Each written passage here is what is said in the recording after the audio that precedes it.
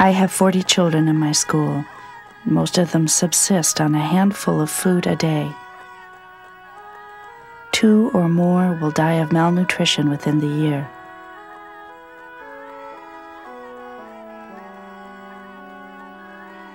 When We hear about your amazing achievements. A man on the moon plans to go to Mars. But how can you justify the expenditure of great sums of money going into space at a time when children are starving to death?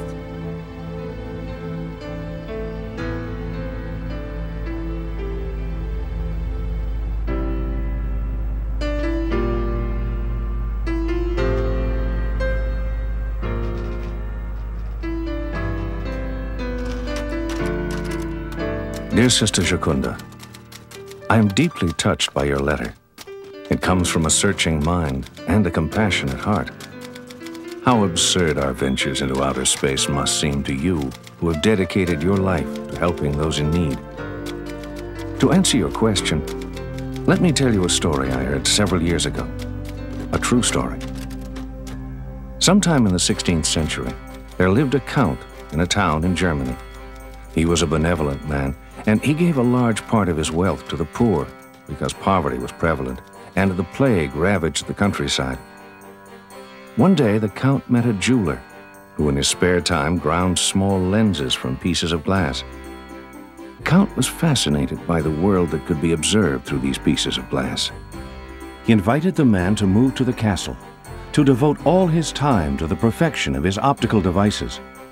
The townspeople were angry saying, Why are you wasting money on such foolishness while we are dying from the plague? The Count replied, I give you most of what I have, but I will save a small portion to support this man's work, because it gives us a new way of seeing that could open up new truths. We don't know where it will lead, but someday good will come of it.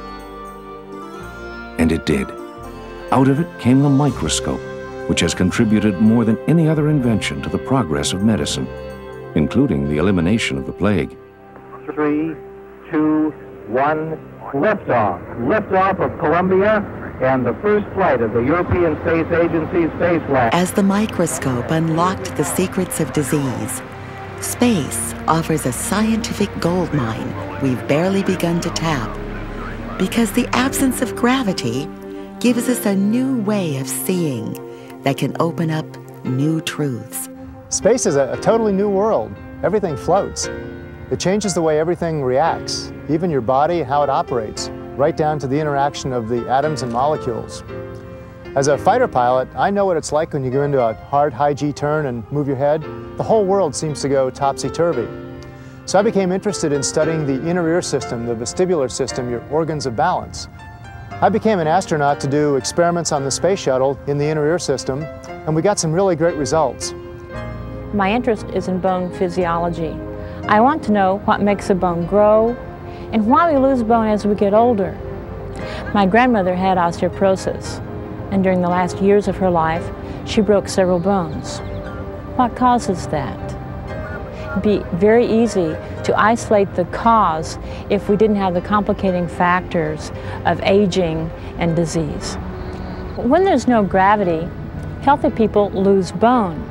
So the astronauts actually lose bone while they're in space flight. Space is a perfect place to study bone regulation, bone loss, and to give us some clues as to how to reverse this effect. Our mission was NASA's very first dedicated medical mission, but we only had nine days to collect data. The big problem is time's hard to come by on the shuttle. You get maybe seven to 10 days every couple of years. We really need a permanent space laboratory. Science progresses step by step. It's very slow. We take very careful and repeated measurements. What we need is a science laboratory in space.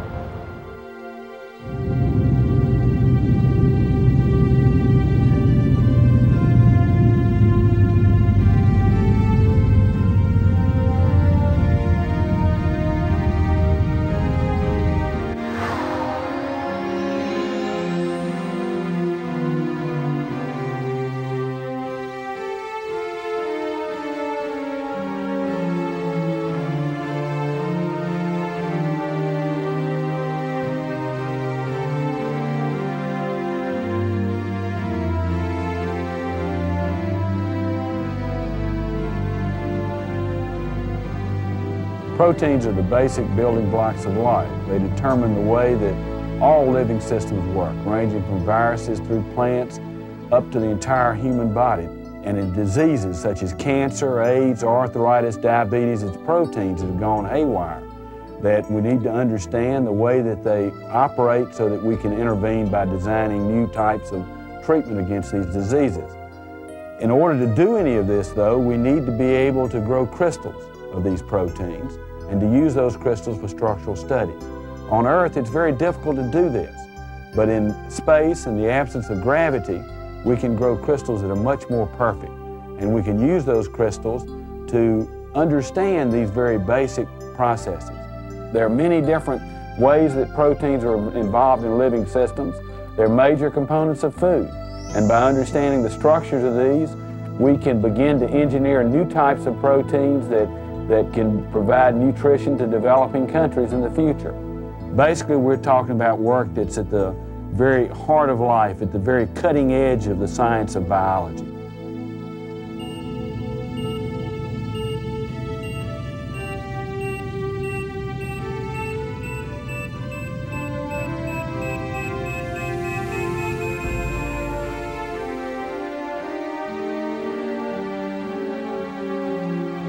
Space offers great promise for making new and better materials. Plastics that are a lot stronger, uh, silicon chips with unique electrical properties. This is because a lot of materials are made by melting various uh, substances together and mixing them and then solidifying them again. When you mix different liquids on Earth, the heavier ones sink to the bottom. Also, when they're solidifying, gravity distorts them with the flow we call convection. We've been able to create perfect spheres in space on earlier shuttle missions because settling and convection are absent in space. We are experimenting with inserting dyes into small polymer spheres to create the smallest lasers imaginable. We're also working on organic films and, and crystals uh, that could, could lead to computers that operate solely and purely on light. They'd be faster, um, store more information, and take up uh, less space than any currently possible. These are just a few examples. There are many possibilities, known and unknown, that simply await careful planning, opportunity, and our unlimited imaginations.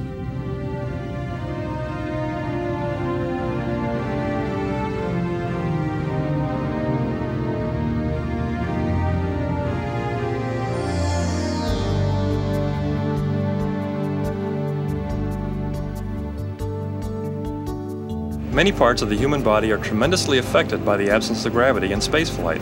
Your heart gets smaller, you lose blood volume, you lose muscle mass. By studying these changes in how the heart and the lungs operate in weightlessness, how the body controls blood pressure and, and blood volume, and how the immune system gets suppressed, we've already found similarities to several diseases like hypertension, congestive heart failure, diabetes. The people we monitor are very healthy when they launch, and the changes they go through happen very rapidly. We figure that, that given the right laboratory environment and space, we can learn a lot of things about these disease processes. And those kind of insights we can acquire will tell us things about the kind of treatments that can be used against these diseases on the ground. Animal and plant studies will help us understand even more about living organisms, including the process of aging and better ways to grow more nourishing food. And these are only a few of the many studies that will be undertaken on this international scientific laboratory, and just a hint of what might come of them. The Japanese, the Europeans, the Canadians, the Americans, we're all working together to build the station because we have a common belief that the absence of gravity is very important scientifically and that it's the first step toward manned exploration of the solar system. It's this exploration that may provide the Earth with resources that are being depleted or are difficult to find. Each country has its own specific goals, but we all know that we've entered a new era, one of global consciousness, and that international cooperation is necessary to improve and maybe even preserve life on our planet. The space station is the first physical embodiment of this new realization. It's being built to provide international solutions to global problems.